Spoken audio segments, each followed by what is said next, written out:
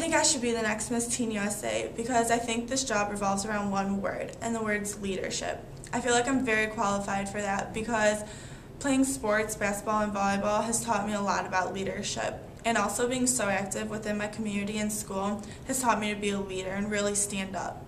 Also, my family—they've supported me and grounded me, and they've really prepared me to be the next Miss Teen USA.